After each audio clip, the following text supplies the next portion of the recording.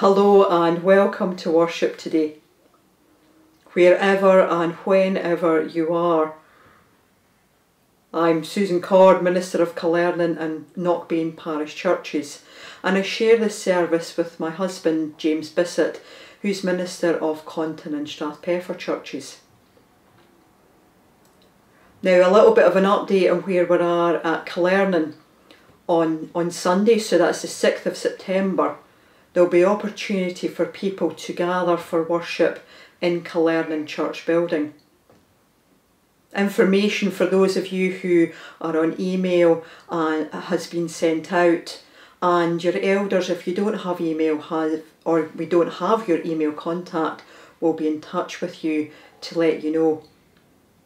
I would encourage you though, if you're watching this before quarter past ten on Sunday, to maybe think, do I need to go?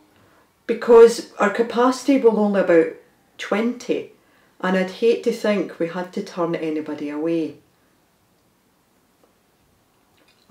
Knockbain we're hoping we'll be able to reopen for worship a week on Sunday and we'll do initially alternate weeks. But we'll keep you updated on what's going on.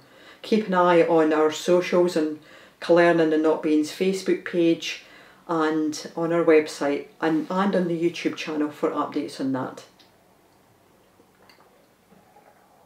And now let us pause for a few moments as we still our minds and open our hearts to God's presence with us.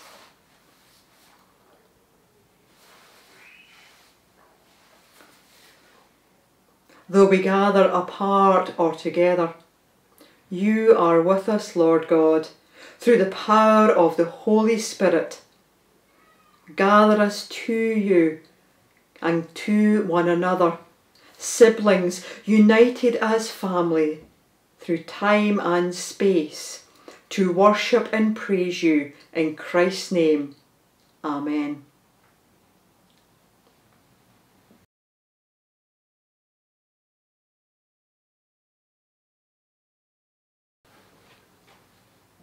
Our reading today is from Matthew's Gospel, chapter 18, reading from verses 15 through to 20. If another disciple sins against you, Jesus continued, go and have it out, just between the two of you alone. If they listen to you, you've won back a brother or sister.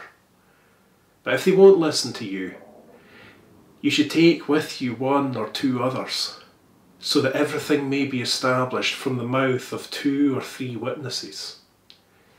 If they won't listen to them, tell it to the assembly. And if they won't listen to the assembly, you should treat such a person like you would a Gentile or a tax collector. I'm telling you the truth. Whatever you tie up on earth will have been tied up in heaven and whatever you untie on earth will have been untied in heaven. Again, let me tell you the truth. If two of you come to an agreement on earth about any matter that you want to ask, it will be done for you by my Father in heaven. Yes, where two or three come together in my name, I'll be there in the midst of them. Amen. And may God add his blessing to this reading from his holy word.